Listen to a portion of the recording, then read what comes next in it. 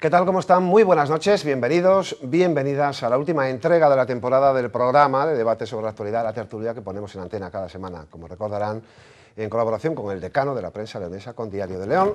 Enseguida vamos a mostrarles la persona que cierra esta temporada de la tertulia, pero como cada ocasión, cada jornada que ponemos en antena este programa, un saludo por un lado a la directora de la Ocho Bierzo, Marisa Vázquez, muy buenas noches. Buenas noches. Y al delegado de Diario de León en la comarca del Bierzo, también buenas noches, Manuel, gracias. Buenas noches. Bueno, pues hoy queremos despedir la temporada de la tertulia hablando con un referente político de la comarca del Bierzo que desarrolla parte de su actividad en el medio rural, pero que también tiene importantes responsabilidades, incluso a nivel nacional, en el partido eh, del que en estos momentos representa en su consistorio, desde hace algo más de 10 años que alcanzó la alcaldía. Hablamos del alcalde de Vega de Espinareda, al que queremos agradecerle que esta noche esté con nosotros. Muy buenas noches.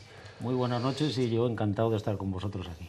Bueno, pues hay una larguísima agenda de asuntos que abordar de la actualidad del Bierzo, de su territorio, de España también, donde tiene usted algún cargo importante. Y antes de pasarle la palabra a los contertulios, una primera reflexión, ya que usted forma parte de la Federal Socialista que alzó, bueno, pues a Pedro Sánchez, le hizo recuperar la Secretaría General del partido hace justo prácticamente un, un año. Eh, usted en esa Federal también forma parte, evidentemente, es uno de los representantes de la comarca del Bierzo y queríamos preguntarle, para abrir un poco boca en el debate, si usted, por ejemplo, con su trayectoria política, con esos cargos que desempeña, pensaba que en esta legislatura el PSOE podría alcanzar un gobierno vía moción de censura. ¿Era viable? ¿Usted lo consideraba posible?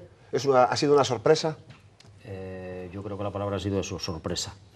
Entre otras cosas porque efectivamente en el último comité que- federal que, que estuve, que fue justamente el lunes de esa misma semana que, que fue adelante, eh, el, que se- el que Pedro Sánchez se- sea presidente del gobierno en este momento, eh, en ningún momento vimos que la moción de censura podía llegar a un puerto a buen puerto en el sentido de que lo que se pretendía era que poner en claro que el Partido Popular estaba corrompido totalmente y que la situación era que el presidente del gobierno tomara la decisión de dimitir. Pero mm, la realidad es un poco sorpresa el hecho de que, bueno, pues que, que se hayan enrocado de esa manera y que haya permitido que Pedro Sánchez en este momento sea el presidente del gobierno. De lo cual me alegro muchísimo, desde luego, porque creo que hay un cambio que era muy necesario, muy necesario, y que, y que bueno, que después de- del nombramiento de los ministros, de las situaciones y demás, eh, personalmente estoy encantado, porque creo que ha acertado de pleno. Buenas noches, Santiago. Buenas la noches. verdad es que eh, sí que podíamos todos pensar que Rajoy, a lo largo de su trayectoria política y sobre todo cuando ha ocupado cargos, eh, la presidencia del gobierno, ha medido muy bien sus tiempos, ha marcado muy bien los plazos para salir airoso de muchas situaciones complicadas. Parece que en esta ocasión le fallaron las, las previsiones y quizás esa dimisión no se produjo por ahí. Pero bueno, yo quería mm, mm, virar un poco en este sentido de la sorpresa que, de que prosperara esa moción de censura y sobre todo que Pedro Sánchez alcanzara el gobierno de España de una forma, pues eso, tan inesperada, que precisamente está siendo un poco eh, la piedra de toque del Partido Socialista en los últimos tiempos. Los dos últimos presidentes del gobierno han salido mm, casi casi sin esperarlos, ¿no? Eh, ¿Qué pasa? ¿Qué está ocurriendo en esta democracia y en este país para que sucedan estas cosas? Eh, no lo sé exactamente. Es- la verdad es que para analizar lo que acabas de decir, ¿eh? analizar más, eh, pensar un poco más, pero sí es cierto que hay un momento donde parece que, que la población o la gente eh, se cansa de ciertas situaciones. ¿no? Yo creo que se cansa mucho de las mentiras. No se puede mentir sistemáticamente. Se cansa mucho de la corrupción. El tema de la corrupción ha sido demoledor en, este, en los últimos tiempos en, en- en España. ¿no? Eh, prácticamente todo ligado al Partido Popular. Eso conlleva que, que, bueno, que independientemente que tiene una masa importante de votantes el Partido Popular, pues no deje de decir, oye, es que, a ver, que tenemos unos cuatro ministros que están en la cárcel o que han pasado por la cárcel, que están eh, en este momento en los juzgados. Todo eso, todo eso llega un momento que a la gente le acaba cansando. Sí es cierto que durante un tiempo se vendió mucho de que todos eran iguales, es decir, el Partido Socialista y el Partido Popular parecía que eran lo mismo. Y yo siempre he dicho que no son lo mismo bajo ningún concepto. ¿Que todos tienen problemas de corrupción? Yo creo que todos los partidos políticos. Y hablamos del Partido Popular y del Partido Socialista, pues digamos son los que más historia tienen. Pero eh, los demás están ahí, Podemos, Ciudadanos, vienen un poco con, con- con esa estela, por decirlo de alguna manera. La corrupción en todos los, eh, los ámbitos de poder yo creo que es algo que, que va con ella. Eh, hay que saber cómo atajarla, hay que ser capaces de decir, oye, eh, hay otra forma de hacer las cosas.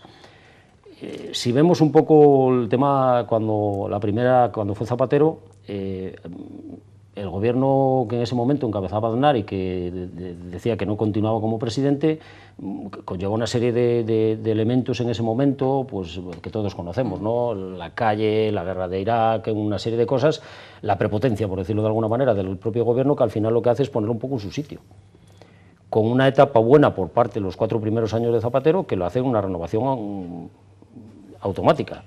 Y sí es cierto que una última etapa de, Zapatero, con, que yo creo que puede que, que, a final, con el tiempo, lo valore como uno de los mejores presidentes que ha tenido el, gobierno de España, sobre todo por las cosas que quedaron ahí. También es cierto que, bueno, igual sobra una última etapa con el tema de la crisis, saberla enfocar de otra manera, que, bueno, es juzgar a posteriori que es demasiado fácil, demasiado fácil, hay que estar allí para, para poder hacerlo, ¿no? Y, la similitud con Pedro Sánchez, hombre, una persona que, viene de las bases, que pasa por las vicisitudes que pasó en el partido, cosa que a mí me enfadó y que creo que dejé muestras aquí de que no, no, se pueden hacer las cosas así. Con lo cual, eh, recupera ese prestigio dentro del propio partido. Hay un cambio, yo creo que hay un cambio muy, muy, muy importante en el propio presidente, que soy presidente, eh, de maduración. Y la realidad es que, como digo, el nombrarlo después de la moción de censura presidente, cosa que yo creo que en el propio comité no lo esperábamos. Es decir, eh, la realidad es que esperábamos que dimitiera el presidente del gobierno en ese momento que era Rajoy. Y curiosamente, pues toma una decisión que, bueno, que no nos esperábamos, dicho así. Y, y es nombrado presidente Pedro Sánchez. Todo lo que viene después, yo creo que no se lo esperaba nadie sobre todo del Partido Popular y de Ciudadanos y demás. El nombramiento de los ministros, la, forma de hacer las cosas y demás, yo creo que hay que dejarle tiempo. Claro, empezar a atacarlo al principio mm, no me parece ni medio lógico, pero de, bueno. De todas maneras, bajando al terreno, es verdad que el poder siempre aligera un poco la, la crispación. El Partido Socialista en los últimos años no ha tenido poder, digo, en el gobierno y siempre pues genera esas divisiones. El partido estaba dividido y está dividido. Yo no sé si la llegada de Pedro Sánchez al gobierno de España puede aligerar esas tensiones y empezar a unir un poquito más por eso de que el poder siempre eh, calma los ánimos. Hombre, yo creo que la situación que, que está en este momento Pedro Sánchez eh, hay que ser realistas. Tenemos los diputados que tenemos, las situaciones que hay, y desde luego lo primero que hay que ver es cómo evolucionan las cosas. Yo espero que sigamos en este camino y que dentro de dos años, que serán las elecciones, si no son antes, dentro de dos años, veremos eh, qué alcance, hasta dónde puede llegar la situación. Mm, yo la situación en este momento la veo bien, pero sigo diciendo, hay que dar un margen de tiempo. Creo que por ideas, por ganas y por, por equipo de trabajo, ha acertado ahora mismo dentro del partido de división, las divisiones se, cerró, se cerró, por decirlo de alguna manera, en un momento donde en unas primarias saca una mayoría aplastante. Eh, ¿Esa herida se cierra? Esa herida es muy complicada de cerrar en algunos ámbitos, pero bueno, está en el camino de hacerse. Pero es una división que va de arriba abajo. Claro, pero la realidad es que ahora mismo lo que sí estoy viendo es que el partido se está empezando a unir eh, las voces discordantes las va a ver siempre, siempre las sube. Yo desde que estoy en este partido siempre fue así. Y entiendo que en cualquier organización de estas características donde puedes expresar tu opinión, mm, bueno, tú expresas la opinión, también lo he dicho muchas veces, hay que expresarla donde hay que expresarla, que para eso están los comités y, y, el funcionamiento del partido, y no sacarla en, otros ámbitos que al final lo que haces es crear mucho malestar. ¿no? Pero bueno, sigo diciendo, mm, le veo muy, muy buen camino. Quizá la primera que se beneficie sea Susana Díaz, que puede incluso adelantar las elecciones andaluzas. Esa herida de, Susana Díaz, de todo el apoyo que tuvo manifiesto en muchas partes de España, incluido la provincia de León, el Bierzo, mm, ese cambio hacia, hacia lo que se está consolidando como un líder eh, sólido como es Pedro Sánchez, ¿cómo va a ser ese, ese volantazo un poco que muchos han tenido que dar? Eh, yo creo que lo dijo Marisa antes. Cuando alguien gana unas elecciones de esta, o sea, y es presidente del gobierno, hay una sintonía. Es decir, la gente se empieza a poner en esa dirección, independientemente que en un momento determinado haya peleado por, otro, por otra situación. ¿no? Pero sí es cierto que ahora mismo yo creo que lo importante es que vamos a ver cómo empujamos entre todos. Los que defendimos a Pedro Sánchez en un momento o los que en un momento determinado tomaron otra actitud. No. Yo creo que lo importante es intentar empujar entre todos de que el partido se consolide adecuadamente. Por eso digo, en este momento es una situación complicada. Pocos, eh, poca gente en el Parlamento, eh, y muchas cosas por hacer. Eh, si, si, se, si se ponen las primeras piedras adecuadamente, yo creo que hay futuro, y futuro importante. Pero bueno, hay que verlo. Y sigo diciendo, la gente que en un momento determinado se decantó por Susana, yo creo que en este momento están en una línea. Rifirrafes va a haber en todos los sitios. Y sobre todo en la época de poder, donde empiezas a tocar poder, a todos nos gusta estar, como dice el otro, en los sitios de decisión. Y pues somos humanos, es así de sencillo. Pero claro, hay que saber también entender que no todos tienen la razón, sino que entre todos tenemos que buscar un camino adecuado. Y yo espero que sea así. No tengo en este momento tampoco sospechas de que sea de otra manera, ¿eh? pero bueno. Eh, esta situación sobrevenida va a cambiar el itinerario del partido, como decía, de abajo arriba, es decir, nos faltan por saber un poco la, distribución comarcal del partido, cómo van a cambiarse o moverse las fichas. ¿Va a ser un, un elemento que cambie lo que es la previsión del partido en el terreno berciano, en el local? Yo creo que no. Yo creo que no. El Bierzo yo creo que nos conocemos perfectamente todos los que estamos en este cuadro, ¿no? dentro del propio partido. Eh, como dice el otro, tienes más afines o, más, eh, o menos afines, ¿no? pero la realidad es que el Bierzo ya es un sitio lo suficientemente pequeño para que nos conozcamos todos y no haya un, un movimiento, entiendo, o no veo un movimiento brusco de, de, cambio de situaciones. ¿no? En este momento, bueno, pues está, digamos, liderado eh, por una serie de personas que que tienen que, empezar a mover un poco la situación de cara a las próximas elecciones para, sacar el mejor resultado posible. Pero no veo, no veo, no veo una pelea, no veo un cambio, no, no lo veo. La pelea no, en este momento no la veo. Pero aquí en el Bierzo todavía queda un congreso comarcal a celebrarse que decía el presidente provincial, secretario provincial del partido, que tendría que ser en próximas semanas. No sé si habrá pues, algún cambio al respecto. Mm, no lo sé exactamente en cuanto al itinerario que quieren seguir, pero realmente ya tenía que haber sido el, congreso comarcal. Eh, tampoco tengo, nadie se ha dirigido, por lo menos no he hablado con nadie para decir, oye, queremos que sea este, va a presentarse este, va a haber unas primarias con estas personas. La verdad es que no lo veo. Pues ya, ha desactivado esa pregunta que le iba a hacer yo ahora, precisamente si esa, si esa responsabilidad, responsabilidad, va a tener muchas novias, por eso no se ha decidido todavía, o no tiene ninguna y por eso se está demorando el proceso. Pues si usted dice no te sabría contestar adecuadamente. Yo creo que no va a tener muchas novias. Yo creo que no las va a tener. Entre otras cosas porque eh, ha habido un proceso desde la federal, pasando por las autonómicas, pasando por las provinciales, que ya está todo prácticamente hecho con todas también las eh, locales, eh, con sus secretarios generales nuevos y demás. Y, lo que es la comarcal es un poco especial, digamos, dentro de lo que es eh, el conjunto del partido, ¿no? Y ya son las propias locales las que van a dirimir un poco la situación. No he visto, yo no lo veo, desde luego, como te digo, no tengo datos, no tengo contactos suficientes como para decir, oye, no, yo creo que saldrá una o dos personas, si es que salen dos, y, y bueno, será él o la secretaria comarcal. Pero no cree que igual lo que ha pasado en Ponferrada, que al final no ha habido proceso de primarias, está indicando también un poco que ha vuelto el tiempo en el que, y viendo el panorama también del Partido Popular, ha llegado un poco, eh, otra vez ha vuelto el momento de que parece que las primarias, en lugar de abrir, abrir el melón, parece que dividen más. Las primarias tienen el problema de precisamente de que puede haber división, pero yo considero que, es la forma más lógica de, dirimir por digamos una situación eh, dentro de lo que es el propio partido.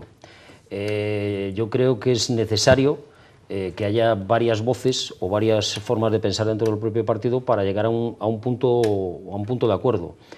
Mm, es posible que sea así, es decir, es posible que en este momento la situación esté calma, que es lo que decía, ya están todos dirimidos las situaciones a todos los niveles, solo falta la comarcal. Bueno, yo no, veo, es que no veo, no veo una situación complicada en ese sentido, ¿no? Está muy tranquilo, muy relajado todo y, yo creo que incluso se acrecienta en el momento que nombran a, Pedro Sánchez presidente. El desembarco de eh, responsables del Partido Socialista en el ámbito regional, local, provincial, en Ponferrada y en el Bierzo hace pensar que esta es una plaza importante para el Partido Socialista de cara a los próximos comicios o incluso a los siguientes. ¿No es el peso que tiene esta plaza en, los intereses o en las expectativas del Partido Socialista, de Tudanca en este caso, de Cendón? Vamos a ver, yo creo que el Bierzo y Ponferrada son una parte muy importante del partido a nivel, bueno, a nivel provincial neurálgico y a nivel autonómico la importancia que pueda tener dentro del propio León. ¿no? Eh, el desembarco, yo creo que Ponferrada siempre tuvo bastante desembarco de gente precisamente para tal. y desde luego hay una cosa muy sencilla. Había veces que más, otras veces que menos. bueno, esto siempre pasa en política, ¿no? Pero de todas las maneras, creo que Ponferrada eh, llevamos muchísimos años eh, sin gobernar el Partido Socialista. Mm. Con lo cual yo creo que solamente por eso, por ese dato, deberíamos apostar muy fuerte por ella, teniendo en cuenta además que el Bierzo tiene un carácter de, normalmente de donde suele ganar el Partido Socialista. Y en Ponferrada se llegó a 22, creo recordar, concejales. Eh, hay que volver a una situación de normalidad, de normalidad. Eh, yo desde que llevo en el Partido Socialista, y no es que haga muchos años, siempre he oído hablar de, lo, de Ponferrada como una división interna de, varones o de tal. Y yo creo que eso tiene que haber, ya tenía que haber pasado la historia, si no ha pasado, que yo creo que sí, y desde luego aunar un criterio y, funcionar. ¿Y cree que ese, reto es posible esta, esta vez en, en Ponferrada, viendo un poco el panorama y también ese impulso que va a dar justo el gobierno de Pedro Sánchez? Si saca algunos proyectos emblemáticos para el Bierzo, puede, puede ayudar a que se recupere Ponferrada. Eh, yo no tengo ninguna duda de que vamos a intentar, vamos a intentar, no vamos a recuperar Ponferrada, porque no veo la división que veía antes. Mm, como dice, las cosas te pueden gustar más o menos, pero cuando tienen un camino eh, hay, que, hay que respetarlo. Y desde luego yo considero que en este momento Ponferrada es eh, ganable, por parte del Partido Socialista y desde luego eh, espero que el próximo alcalde sea socialista. En este caso, bueno, eh, la persona que, no hubo primarias, simplemente, o sí hubo primarias, pero fue el único candidato. ¿no? Bueno, eh, yo le, auguro a Olegario que medianamente, haciendo medianamente bien las cosas, indiscutiblemente va a ser el próximo alcalde de Ponferrada. Creo, estoy convencido además. y luego tiene que servir de motor para el Bierzo tiene que servir de motor para el Bierzo, porque si hasta hace poco el Bierzo sacaba, salvo una vez creo recordar que no sacó mayoría, o sea que no sacó más votos el Partido Socialista, siempre quedaba eh, una espina que era Ponferrada, sobre todo. Hay alguna más, pero bueno, sobre todo Ponferrada en una espina. Hombre, si en este momento se le da el vuelco a Ponferrada, indiscutiblemente la situación se normaliza mucho más en el Bierzo. Entonces, bueno, vamos a apostar por eso. No estamos eh, todavía en campaña electoral, pero parece que ya el programa ya está en marcha y hay un mensaje único que es el revitalizar la ciudad, recuperar el legado de Zapatero, apostar por, por algo que parecía que ya estaba amortizado. ¿Ese es el enganche para recuperar Ponferrada y el Bierzo en algunos casos? Eh, yo creo que queda mucho camino que andar ahora mismo con respecto, sobre todo, el tema de Ciuden. Y yo conocí la ciudad en el momento importante de, de, fuerza, de salida, y siempre la vieron desde otros ámbitos, sobre todo el Partido Popular y la Junta de Castilla y León, como un, ¿cómo te diría yo? Como alguien que le estaba haciendo la competencia. Y yo siempre que hablé con, tanto con unos como con otros dije, oye, lo importante no es hacer o no la competencia, lo importante es aprovecharse de la situación y, que esto funcione, o sea, que el Bierzo vaya para adelante, en una palabra. Y yo recuerdo de hablar de proyectos que al principio encajaban malamente en lo que era Ciuden, pero que sirvieron para, para, promover y promocionar algunas cosas dentro del Bierzo. Todo eso se ha muerto, todo eso se ha muerto. Y yo te puedo dar algún proyecto que se ha dejado hablar de él. Y te voy a decir dos que yo estuve muy implicado en ellos. Uno es la Reserva de la Biosfera de los Ancares Leoneses, mm. que sigue. Después de alguna vicisitud, sigue. Eh, en el momento que tuvimos el apoyo de Ciuden, fuimos capaces de ser el escaparate, casi te diría que de las reservas de la biosfera a nivel nacional, de cara a, un, a un, punto internacional, sobre todo por la forma de hacer las cosas. Pero claro, teníamos un apoyo, que era Ciuden, tenía unos técnicos que nos apoyaban. Y tenía una inyección de dinero presupuestariamente hablando desde el punto de vista del gobierno apabullante. Ciuden sí, pero te digo lo de la reserva. ¿eh? Ya, claro, la de la a reserva... ver si había canalizaciones por ahí que no No, no, la de la reserva era lo que era. El presupuesto de la reserva en su mejor momento fueron 70.000 euros. Poca cosa. Muy poquita cosa. Con lo cual, dices tú, oye, si hemos sido capaces desde ahí de hacer las cosas de esa manera, eh, ¿por qué no? Y yo recuerdo todavía cuando cambió el gobierno, el primer eh, representante que vino para Ciuden fue Melchor y en una reunión con él, porque dije, bueno, pues se acabó la reserva de la biosfera, era el presidente yo en ese momento, y sin embargo dijo que no, que le parecía un proyecto muy bueno de promoción de toda la zona del Bierzo, dentro de los que había en el Bierzo, y que veía que, bueno, que podía seguir adelante. Yo le estuve tremendamente agradecido. Duró pues hasta que llegó eh, Castañeiras, o Castiñeiras, que al cabo de tres o cuatro meses me dijo, mira, me dicen que, hay que, que, esto no puede estar dentro del presupuesto de Ciudad Dije, bueno, pues oye, ¿qué le vamos a hacer? Resignación. Qué bonito mientras duró. Entonces, ¿qué, qué pasa ahí? Hay un corte. Hasta que entra el Consejo Comarcal y es capaz de, volvemos otra vez a funcionar. Pero como esos proyectos, la mirada circular, un proyecto que era, del, era una, el- de promoción del Bierzo era algo espectacular. Bueno, pues está muerto, está en un cajón, está olvidado. ¿Cómo recuperar esas cosas? Y te estoy hablando de cosas del Bierzo. Ya no te estoy hablando ni del tema de la captura de CO2, ni de algunos otros temas que, claro, hay que valorar y, situar en su, su momento. Porque yo creo que se pueden recuperar bastantes cosas de las que realmente quedaron en el, cajón. Yo, sinceramente, entendí que desde el principio, eh, desde que el, go- el gobierno del Partido Popular tomó posesión, automáticamente Ciudén era algo, era un lastre, era algo que sonaba zapatero de tal manera que había que borrarlo del mapa como fuera. Yo creo que la política no es eso, personalmente. De todas maneras, sí que apostaron por el INTECO, el INCIBE actual, y también era un legado de Zapatero. porque no queda más remedio cuando algo funciona muy adecuadamente. Es que decir, es que era un, eh, un punto de, la- de lanza dentro de su, del capítulo que... Ya. Entonces, ¿qué hacemos? ¿Quitamos eso a...? Bueno, lo que no me, me extraña es que nos lo han llevado a otro sitio, pero bueno, Ahí dicho así, sí. Vega de Espinareda está justo en una frontera casi viendo la atalaya de, una cuenca como Favero. ¿Qué futuro tienen las cuencas mineras? ¿O hay que empezar a decir que desgraciadamente hay muy poco futuro en las cuencas mineras? Resumiendo, te diré que la minería, por, por llamarlo de una manera forma muy clara, la minería, eh, entre todos la matamos y ella sola se murió. Es decir, en este momento yo creo que es prácticamente irrecuperable. Bueno, volver a los, a los cánones de antes es imposible. Pero si hacemos un poco de historia y hablamos del año 96 o 95, 96 más bien, cuando empiezan las prejubilaciones, fue el primer paso para decir, bueno, los trabajadores empiezan a desligarse de la minería, eh, se van a gusto para casa, personalmente creo que es una lotería maravillosa para el que le tocó, pero eh, ahí ya empieza el, declive. Es decir, si empezamos primero por los trabajadores, luego ya tienen bastante culpa los empresarios, realmente. Es decir, bueno, se formó lo que se formó alrededor de, a partir de esos años. Y luego hay una cosa muy importante, es decir, si empieza a disminuir la situación y las centrales térmicas tienen un problema añadido desde Europa, que es el tema medioambiental, eh, llevamos restricciones medioambientales sistemáticamente desde el año 90 y tantos, eh, bajando límites de emisión, apareciendo nuevos contaminantes y demás. Eh, está muy claro que la apuesta por el carbón es difícil.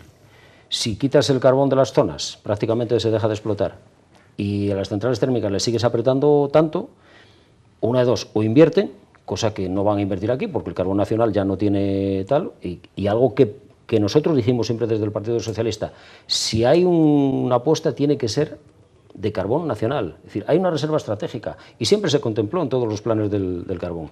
También es verdad que te digo que los dos últimos planes del carbón es que no se ha invertido ni un solo céntimo de lo que hablaban esos planes. Este último, o sea, el que quedó de Zapatero y el que, que- el que promovió el Partido, eh, Social- eh, perdón, el Partido Popular en esta última etapa. ¿no? 13-18, sí. Es que, es que no ha habido nada. Es decir, eh, yo puedo decir, como alcalde de, una, de minero, de un pueblo minero o, o- o cualquiera de los... Es que no hay una inversión, salvo el- el- el- la connotación de trabajadores de la minería que dan a los ayuntamientos para que tengan un poco de... que nos viene de maravilla, porque oye, en un ayuntamiento pequeño, rural, pues ya me contarás. Pero nada más, es que... Por eso te digo desde el principio, la minería, entre todos la matamos y al final ella sola se murió. La nomenclatura del Ministerio de Pedro Sánchez de Industria yo creo que dice mucho. De hecho, a esa nomenclatura, a esa forma de llamar a ese ministerio, se agarran muy mucho las térmicas. Parece que es un alivio, una liberación para ellas el que el gobierno parezca que va por otros derroteros que no son precisamente los de eh, la, la puesta del carbón y la quema de carbón. Centrales térmicas hay muchas. Hay en la costa, que están funcionando, hay en el interior, que funcionan menos, pero sigo diciendo, el problema es el carbón nacional.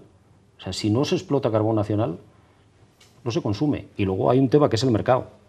Y sobre todo también un, un superávit de generación importantísimo. Hay eh, y vuelvo a hacer un poco de historia. Eh, año eh, 2000, el boom de, las, eh, de los ciclos combinados. Aparecieron proyectos de ciclos combinados como, las, como, como, vamos, como una buena época de setas. Que estamos ahora en ello. Sí, por cierto. Entonces, eh, hay un montón de ubicaciones ahora mismo de ciclos combinados, muchos de ellos sin funcionar. Luego aparece el tema de, de las eólicas, de las solares, renovables. una apuesta, de Zapatero. Una apuesta importantísima por parte también de, otro gobierno, que es el Partido Socialista. ¿Qué pasa? Que todo eso conlleva un estatus de generación que no se consume. Había unas perspectivas de tanto consumo que no, que no, que no están, que en el mercado se ve que no. Todas esas situaciones que hace, bueno, pues que, que, pervivan un poco las, las más baratas. Bueno, estamos en el Ecuador de la tertulia, enseguida regresamos con el alcalde de Vega Espinal hablando de estos temas y otros de la actualidad del. Hasta ahora mismo.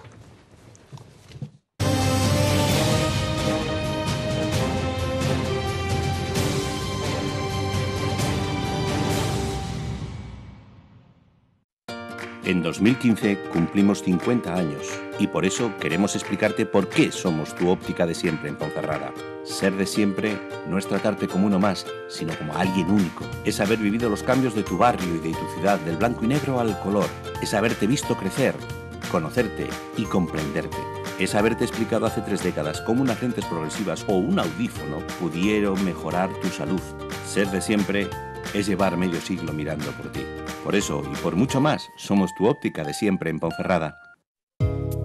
Joyería Cesario Gómez en la calle Dr. Fleming 14. Relojes de todas las marcas, joyas, platería y la mayor selección en trofeos deportivos. Cesario Gómez, con la calidad de siempre.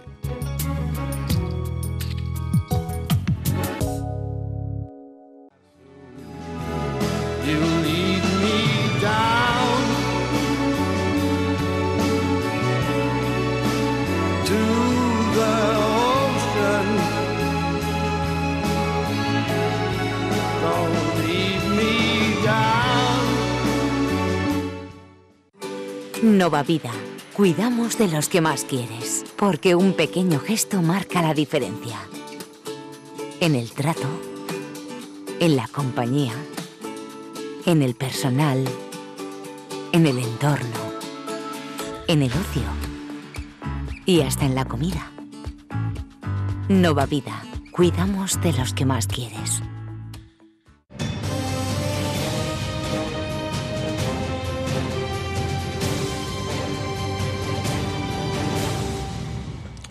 Y seguimos en esta última tertulia de la temporada, lo hacemos con el protagonismo para el alcalde de Vega de Espinalidad, para Santiago Rodríguez. Hemos estado hablando a nivel nacional de los cambios que representa la llegada del PSOE y cómo puede esto afectar a la provincia de León, incluso a la comarca del Bierzo. Y ahora, si le parece, vamos a hablar del medio rural que usted tanto defiende y por el que tanto lucha desde que llegó a la alcaldía hace más de una década. Claro, el primer problema que se plantea en el medio rural, evidentemente, como es el suyo, eh, en Vega de Espinalidad, es la despoblación, que no parece que pueda ser un problema solucionable en el medio rural, volver a florecer con el estatus que pudiera haber llegado a tener hace pues, medio siglo el medio rural español es difícil, pero algo habrá que hacer. Es difícil una medicina concreta que tenga eficacia pronta en el tiempo, ¿verdad? Muy difícil. El medio rural, eh, y sobre todo en esta zona del Bierzo, donde hay zona montañosa, eh, está desapareciendo, pero a marchas forzadas. Eh, yo recuerdo mi primera época cuando, cuando, bueno, cuando decidí presentarme a las elecciones en Vega y hice un pequeño estudio de población, eh, quedé sorprendidísimo, porque la pirámide poblacional que yo esperaba, que ya recordaba de unos años atrás, se estaba empezando a invertir. Es decir, ya no era más que una pirámide, era una columna, vamos.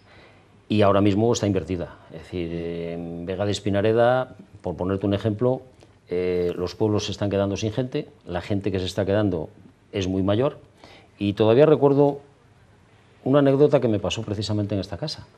Y es que estaban mirando en el ordenador alguna cosa de los pueblos de, del, el envejecimiento de la gente en el Bierzo y me dijiste, oye, ¿es posible que en Vega de Espinareda el 70% sea mayor de 65 años?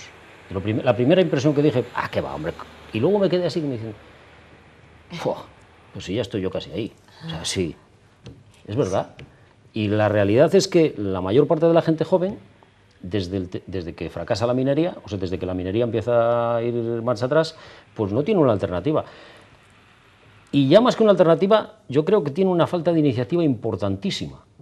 Eh, la gente prefiere irse a ganar un sueldo de 800 o 1000 euros en, no sé, en Palencia, por decirlo con la Renault o alguna así, y sin embargo, eh, yo creo que ese dinero es relativamente sencillo sacarlo en, la zona rural. Pero claro, eh, tiene su trabajo. y hay que, dedicarse y hay que pasar tiempo dedicándose al tema rural, ¿no? Pero sí que hay alternativas que yo creo que, pueden funcionar. Estamos hablando, yo siempre apelé por una situación en, la zona, es que eh, nosotros no podemos competir con las grandes multinacionales, es imposible.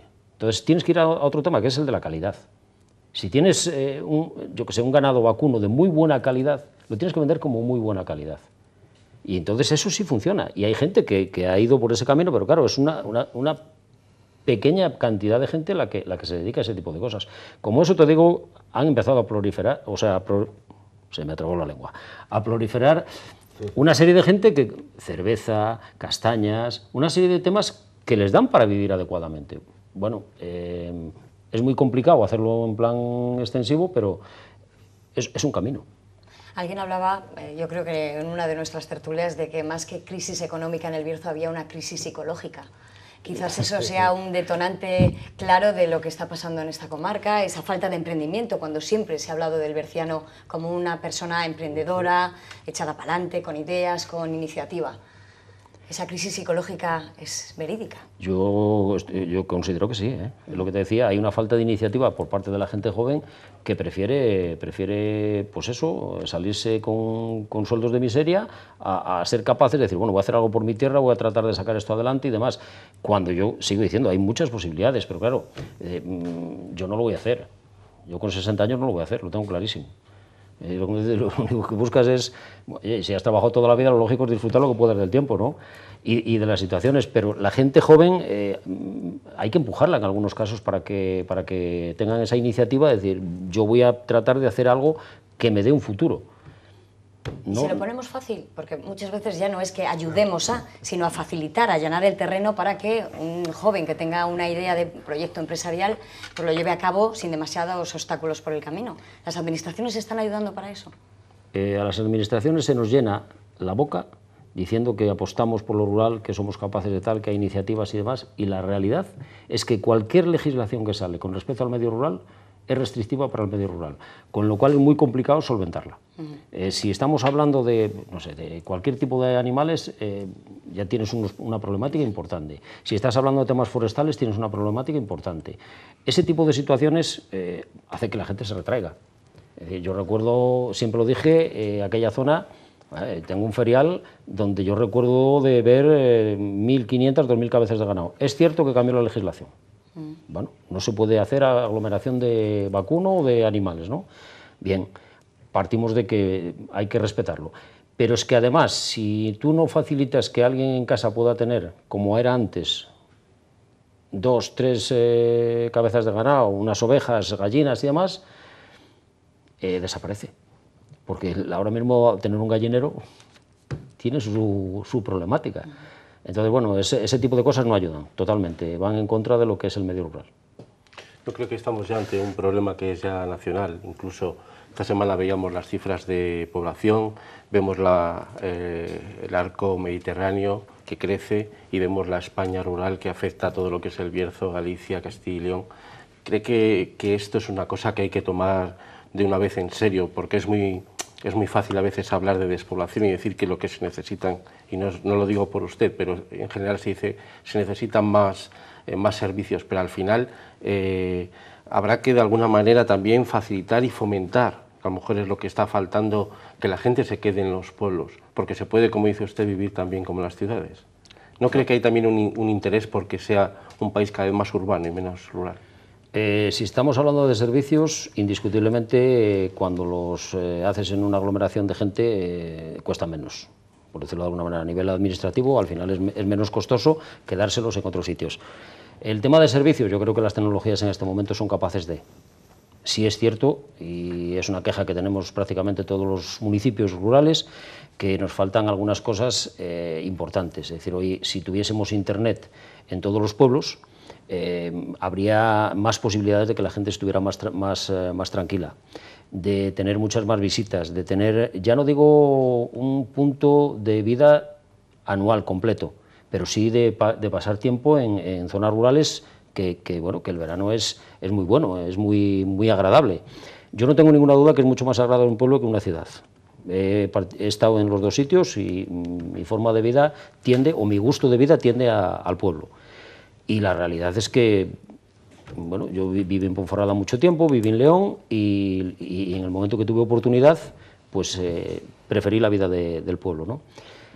Pero como te digo, eh, el tema de servicios es un tema que se nos llena también la boca de que hay pocos servicios y demás. Servicios, faltan, faltan cosas, faltan cosas. A los ayuntamientos se nos demandan los servicios básicos, eh, es lo más lógico. yo, quiero tener agua, quiero tener eh, un buen saneamiento, quiero tener una infraestructura adecuada y, eso es costoso. Es costoso porque, porque es un volumen, es mucha superficie, digamos, para, para pocos eh, vecinos. ¿no? Y ya no hablo de Vega, puedo hablar de un pueblo, yo qué sé, Penoselo, que son cinco habitantes. Entonces, lógicamente, mantener un pueblo de esas características es muy costoso. Pero si no hacemos ese esfuerzo, es que desaparecen. Totalmente, o sea, no, no, hay, no, hay, no hay vuelta para atrás. Y claro, la gente prefiere decir, bueno, mira, yo en el invierno me voy a vivir a Ponferrada. ¿Por qué? Porque tengo el piso bajo abajo y estoy mucho más cercano a todo. Ya no hablo de la gente mayor. Eh, la gente mayor eh, no quiere marchar de ninguna manera de los sitios donde, donde ha vivido toda su vida. Pero la realidad es que muchas veces, si los hijos no están allí, una de dos, o, vive solo, que pasa mucho, o se lo llevan con ellos, cuando, cuando el deterioro ya por edad es, mayor. Entonces, yo una apuesta que he visto en muchos sitios es, bueno, pues hacer un, eh, o bien centros asistenciales de geriatría, o alguna, para ser capaces de, oye, estás en tu pueblo, y cuando quieres salir puedes ver otra vez la situación. No sé, ese tipo de cosas había que valorarlas de otra manera. Y la Administración, yo creo que las apuestas, sobre todo, es... Eh, no tengo nada en contra de los economistas, pero van demasiado al, euro y muchas veces hay que, hay que mirar por encima de ello. Pero hay países además alrededor nuestro, Francia, Inglaterra, incluso Alemania, que son países eh, muy rurales. Es decir, que no es un problema únicamente de aquí. Mm, mira, yo hace, no, hace mucho, eh, valorando un poco la situación de Castilla-León, si te das de cuenta, prácticamente todos los territorios están mecanizados y demás. Sin embargo, no vive la gente en los pueblos, vive en la ciudad. Em, yo no quiero eso tampoco, sinceramente. Yo prefiero que, bueno, que una parte importante viva en el, propio pueblo. Si hablo de lo que es el conjunto del pueblo, mm, te das de cuenta, bueno, antes vivía el maestro, vivía todos en el pueblo, vivía el médico, vivían todos en el pueblo. Hoy prácticamente no vive ninguno. ¿Por qué? Porque es mucho más cómodo moverse. Es complicado. Parece que es la, la, pescadilla que se muerde la cola, hay que dar servicios para una población que cada vez es menos, pero esa población es menos porque no hay trabajo. Ayuntamientos como el de Vega están fomentando un poco la reindustrialización de la zona. Creo que tiene un proyecto cárnico por ahí muy ambicioso, que no sé qué, en qué punto está, pero bueno, si generamos X puestos de trabajo, pues bienvenido sea. ¿no? Apostamos por muchas cosas y de vez en cuando nos dan hasta alguna sorpresa. El tema del cárnico, yo hace muchos años que fue una apuesta ya, incluso con la Reserva de la Biosfera, se hizo un, se hizo una asociación de ganadería eh, que, bueno, que contactó con la universidad precisamente para mejorar todo lo que pudiera la, situación. Y creo que realmente está funcionando, está funcionando mucho, sobre todo porque la cabaña ganadera ha aumentado muchísimo. Y sigo diciendo, es de muy buena calidad. Eh, otros proyectos. Yo cuando alguien me dice, tengo un proyecto para poder hacer aquí una plantación de árboles de almendros o de tal, bienvenido ¿Dónde te tengo que dar el abrazo? Porque vamos, lo que queremos es eso. O sea, que, que, alguien con iniciativa... Eh, tenemos un problema. Eh, hay mucho minifundio para algunas cosas. Es complicado. Pero bueno, eso hay que solventarlo. Hay que mentalizar a la gente y decir, bueno, ¿para qué quieres una finca que te está dando escobas, siestas, monte, zarzas? Es tuyo, nadie te lo va a discutir, pero deja que lo aprovechen. Eso en los pueblos es tabú, ¿eh? Todavía. Eso es tabú. Pero bueno, se, está rompiendo esa situación, ¿no? Parece que la, tal, cualquier proyecto, yo, proyectos tengo un montón, otra cosa es que no tengo capacidad como, económica para poder sacarlos adelante. Y la primera oportunidad que tenemos, desde luego, la intentamos aprovechar. A veces sale bien y a veces no, pero bueno. Como ha dicho Marisa, que el proyecto cárnico tiene usted solicitado al plan de, dinamización un dinero, no sé si eso está funcionando o no. No, no Así, categóricamente, no. No he tenido ni una sola respuesta respecto al tema. Es decir, el tema cárnico, yo hice una propuesta, mm, creo que bien fundamentada, en la situación de la zona y demás, y en aprovechar toda la cadena. Y decir, el producto que salga de aquí, sabes que va a salir de aquí, y además va a ser de muy buena calidad. De momento no tengo respuesta. Ninguna. Por eso os decía que ninguno de los proyectos que había ligados a la minería, en este momento, están medio consolidados. No, no lo hay no lo hay. Bueno, eh, supongo que esas situaciones hacen un poco bajar los brazos de tener ideas, proyectos, iniciativas que sacar adelante. Yo no sé si al final acabamos uno, unos y otros eh, en ese bucle depresivo que, que no, no, nos hace avanzar. Y después llegan los golpes eh, ajenos a, que son, yo quería hablar evidentemente de la amenaza de incendios, de una zona tan castigada, de cómo ha recibido esas noticias de la Junta de Castilla y León, del consejero Suárez Quiñón, respecto a esas cámaras de videovigilancia, esos drones de, disuasorios más bien. ¿Serán efectivos? Eh, Vega, Vega siempre mira con temor esos días de calor y sobre todo esas tardes. ¿no? Vega tenemos un problema de incendios importante y hay ciertas zonas que sistemáticamente pues acaban incendiándose. Eh, y no sabemos cómo atajarlo, desde luego desde, el propio municipio. ¿no? Se hablaba mucho de cómo atajar el tema de los incendios. Una es esta, mm. eh, aumentar la vigilancia. Mm, ¿Va a ser efectiva? Esperemos que sí, que sea lo más efectiva posible, pero tiene que haber otras alrededor. Yo creo que alguna vez he comentado de que eh, las medidas disuasorias son muy buenas, pero también es verdad que hay otra serie de medidas alrededor, como es el tema de cuidar el monte, de limpiezas y demás, que deberían también eh, facilitar la situación. Y vuelvo a lo de antes, el minifundismo. Es decir, yo creo que la Junta de Castilla y León tendría que ser eh, consecuente con decir, oye, vamos a ver, las fincas que están ya no urbanas, sino fuera del casco urbano o, en un perímetro suficientemente amplio del casco urbano, eh, oye, eh, no puede estar de monte. O la limpias, o la, o la digamos, la atiendes, o, tenemos que buscar otra alternativa, porque si no, sistemáticamente estamos quemando. Luego se queman castaños centenarios, sí, pero muchos de ellos estaban sin limpiar. Los que estaban limpios también se han quemado algunos, pero menos. Entonces, ese tipo de cosas tiene que todo parejo. Tiene que todo parejo. Ojalá el tema de los drones, el tema de las vigilancias, las cámaras y demás, sirva para, precisamente para ser capaces de, atajar, de atajar el número de incendios. ¿En Vega ya están instaladas? ¿Está ya funcionando este sistema? ¿No sabemos? De momento que yo sepa, no. Bueno, si no lo está previsto, está previsto ponerlo. Es, yo creo que lo quieren hacer además de una forma, eh, igual están puestas y, además eh, es preferible que yo no me entere o que no se entere el pueblo, porque así, mm, bueno, por lo menos tienes la duda. No lo sé. Yo, sinceramente no tengo constancia, pero bueno, ojalá. Me resultaba paradójico lo que comentaba hace muy poco precisamente el consejero aquí en el Bierzo de que, por ejemplo, Soria es una zona con una naturaleza muy similar a la del Bierzo y sin embargo hay una cultura del rendimiento que hace que no haya ni un incendio algo justo lo contrario que pasa aquí. No tenemos esa visión de futuro económico incluso de nuestros montes como para cuidarlos de esa manera como, como cuidan los sorianos. Si te das cuenta, vuelvo a lo de antes. Mm. Falta la iniciativa de alguien que sea capaz de ver eso, decir, esto es un medio de vida. Ellos lo han visto.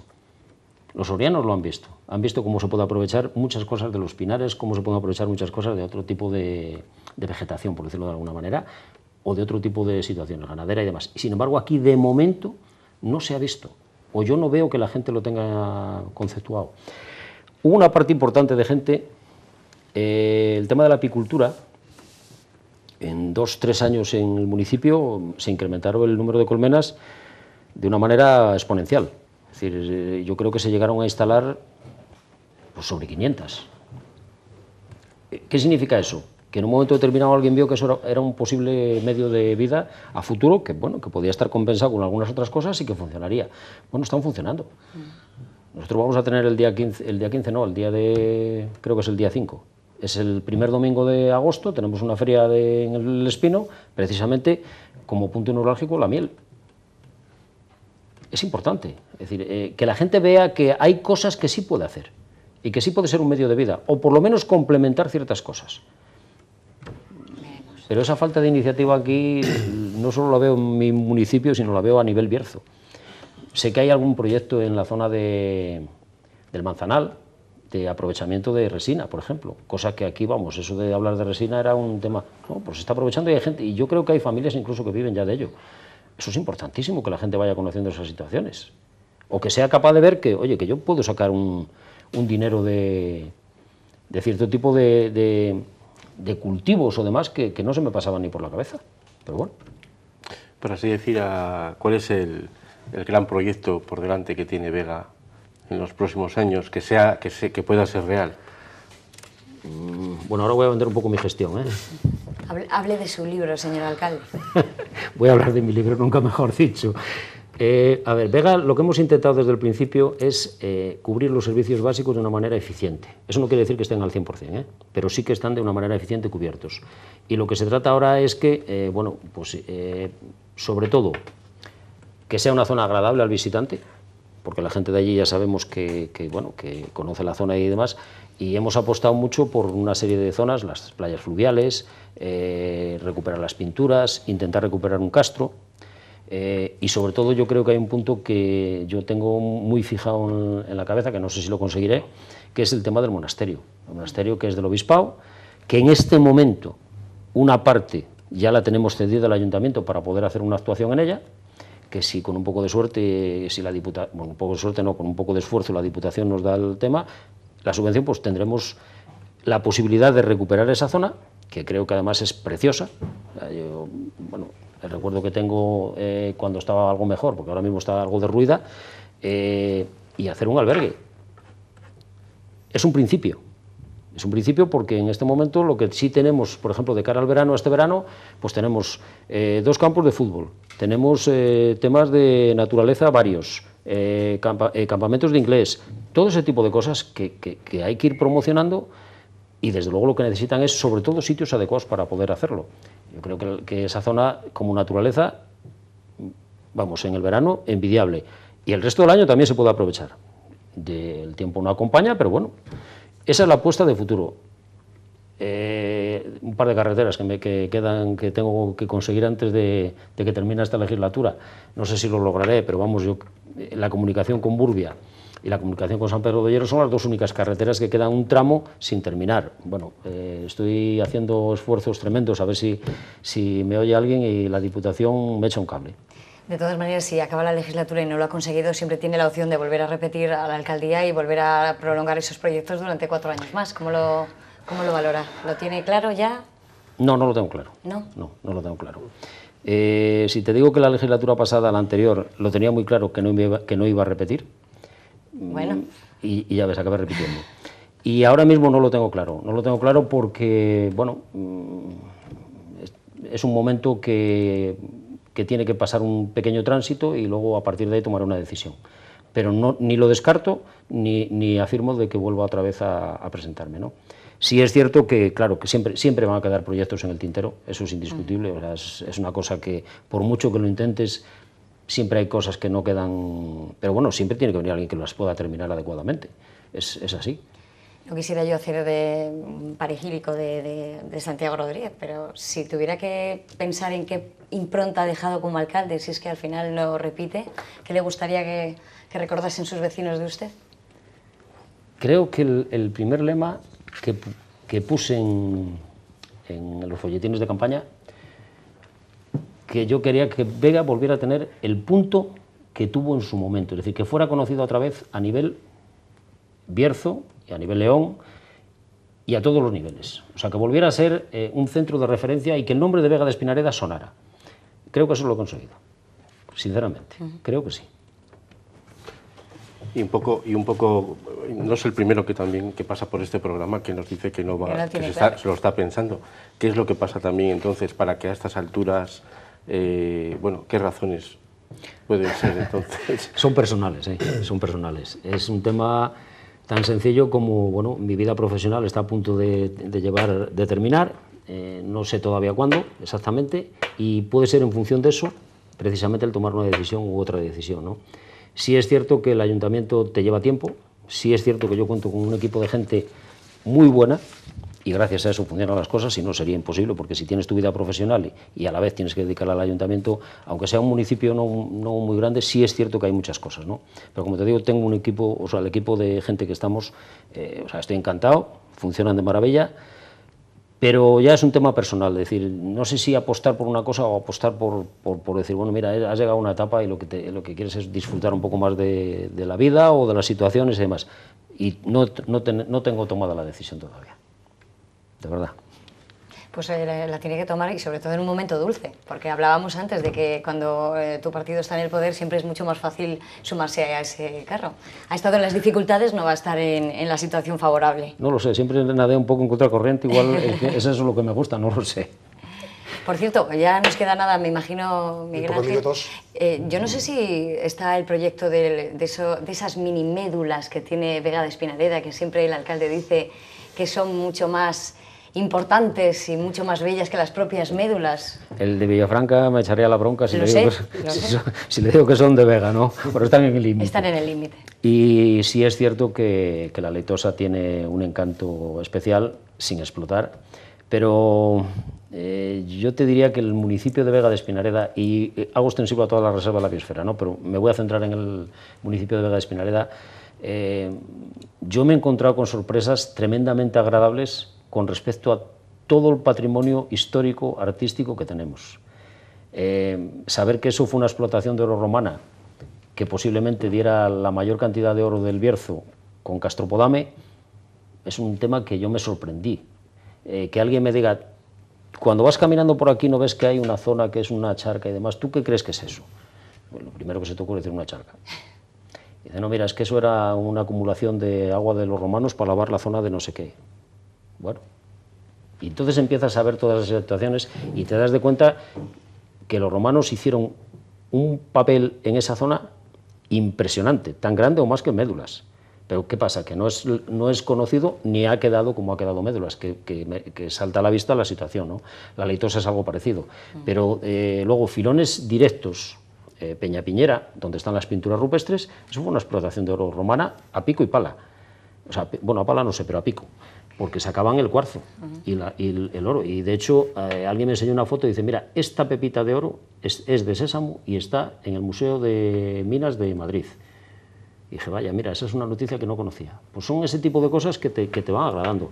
Castro. Cuando alguien me dice, oye, tenéis el castro más grande de la provincia de León. Y lo ves. Cuando yo decía, "Buah, vaya cantidad de piedras metieron aquí, no sé ni para qué las hicieron, ¿no? Bueno, pues era una muralla. Bueno, pues ese tipo de cosas, no sé, te, te- te gusta. Te gusta ver que estás en un municipio con una historia importante, una zona que en este momento mantiene todavía una vegetación natural muy importante. Pues sí, la verdad es que te encuentras, eh, no sé, casi satisfecho de...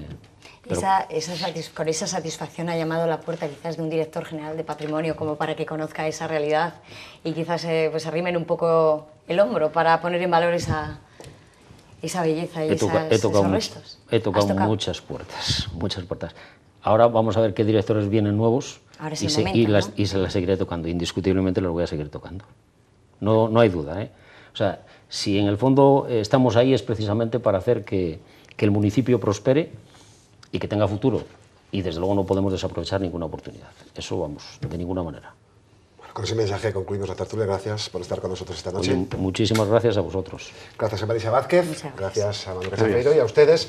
Muchas gracias por haber estado toda la temporada con nosotros, agradeciéndoles su fidelidad. Regresamos después del verano para seguir abordando con todos ustedes y los protagonistas de la actualidad lo que ocurre en el presente y en el futuro de la comarca. Hasta entonces.